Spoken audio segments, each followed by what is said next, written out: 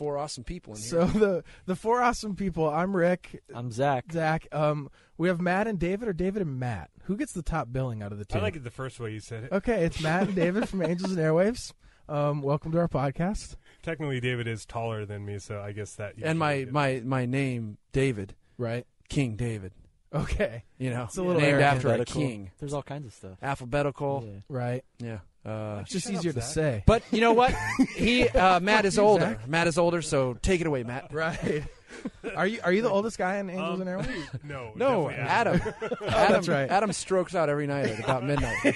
we, we we keep a defibrillator in the studio just to zap him back. It's not nice, No, man. it's true though. He's an Atom Willard wanted to be here tonight. Actually, um, No, he didn't. Uh, he he's did, but he's blood- recording drums. Did you tell him about the podcast? Yeah, And and what he did was he say? actually kind He's like Rick who? He Yeah, was I- bummed. He was bummed. he Yeah, because I was out. like, yeah, because he was like, dude, what about? Because I said, Matt, do you, can you do the? Rick wants to do the podcast thing, Mhm. and uh, and he's like, dude, wh- what about me? and I was like, I was like, he only You weren't asked. I invited. said, I said he only asked for Matt.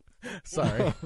No, he, he's working tonight. Um, uh, drums for Angels or one of his many projects. angels, Okay. well, strictly angels this evening. Oh, are we? okay. I'm sorry. Okay. He's a busy man. I don't know. yeah, we well, all are. we all are. Okay, I got shit to do.